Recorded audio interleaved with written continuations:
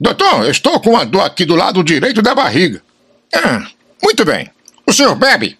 Obrigado, eu aceito uma dosezinha. Não é isso. O senhor tosse?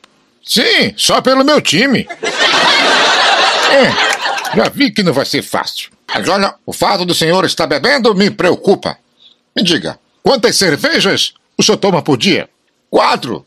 Mas da última vez eu disse que o senhor poderia tomar duas. Sim, doutor. Mas meu cardiologista também disse que eu poderia tomar duas.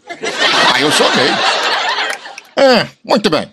O senhor vai parar de beber cervejas, ok?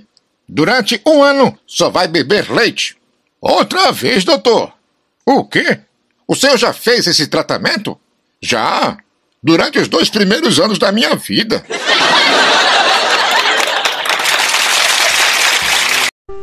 Próximo. Doutor, antes de mais nada, queria lhe dizer que fui ao farmacêutico primeiro. Ah, é? E que besteira ele mandou você fazer?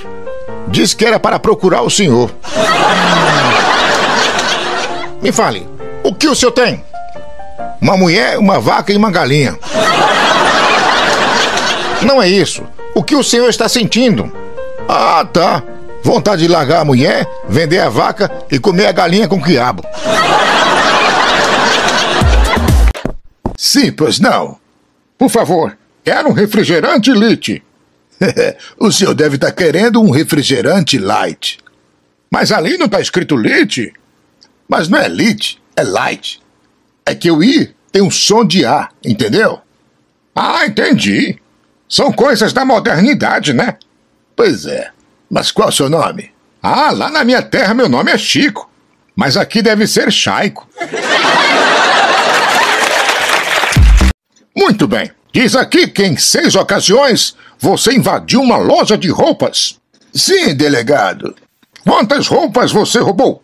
Um vestido. Ué, você invadiu uma loja seis vezes, mas roubou apenas um vestido? É que minha esposa não gostou dos cinco primeiros.